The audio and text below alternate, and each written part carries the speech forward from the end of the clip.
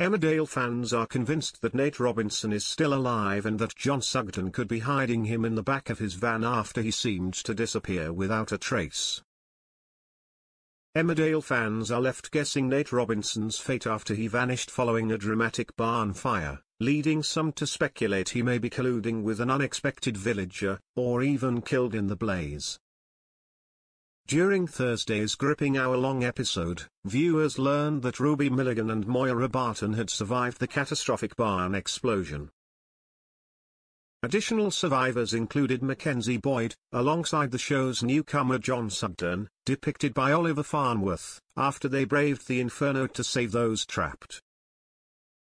Cain Dingle and Will Taylor also faced peril but emerged unharmed. However, the plot thickens as despite his revelation of being an ex-army medic, Villager's suspect John, who has revealed plans to leave Emmerdale, is hiding something more, possibly involving Nate. In a tense encounter, Tracy Metcalfe cornered John, pressing for details about the fire and Nate's current location. Can you smell smoke? She asked him sharply, to which John reluctantly revealed, there was a fire at the farm, reports Leeds Live. Tracy, visibly alarmed, questioned the severity, what? Not a bad one though? Receiving a grim reply from John, pretty much as bad as it gets. Dot concerned, Tracy pressed further on who had been there and the well-being of everyone. Moira, Ruby, and Will were taken to hospital, John divulged. Dot but they are going to be okay? A worried Tracy insisted, only for John to share the discouraging news, I don't know.